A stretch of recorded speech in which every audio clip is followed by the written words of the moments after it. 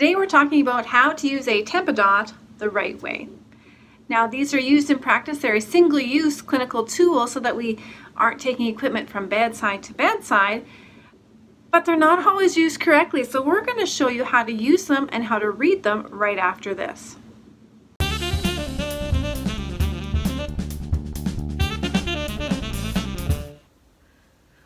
Back, my name is Tammy and this is Nurse Minder and on this channel we do everything nursing. So if you're new here, consider subscribing below so that you get the next video when it's released. So we're going to talk about oral temperature first. Now before we do an oral temperature, we need to actually make sure our patient is prepped for an accurate reading. Some of the things we need to ask or consider are, one, what kind of temperature exposure has occurred in the last 15 minutes?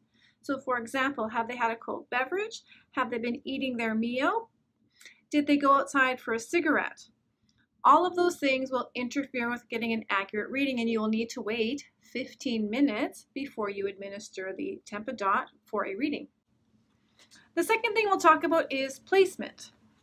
In terms of the Tempadot, one side is blank and the other side has the the dots that we're going to read the temperature on. This can go under the tongue in either direction, but we want to get it back far enough under the tongue such that the tongue is pressing down on the Tempadot.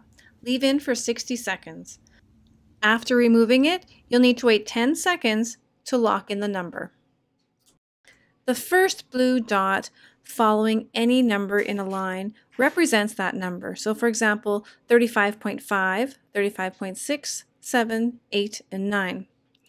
The second row, where we have our last blue dot activated, is the actual temperature of our patient, in this case 36.0. Now we're going to talk about how to take a temperature using your Tempadot and the Axilla. Sometimes your patient can't follow instructions to do an oral temperature, so we're going to use the Axilla instead.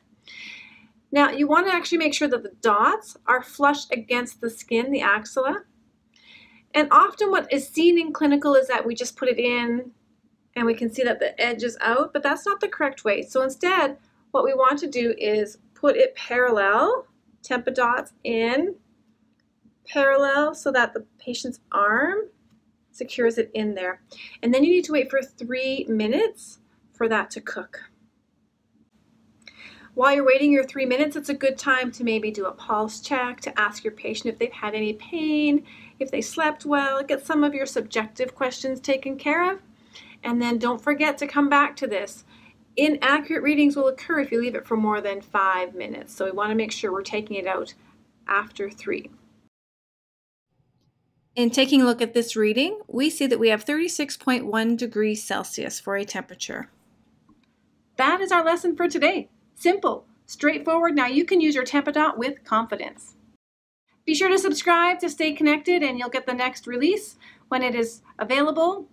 And until I see you next time, make it a great day.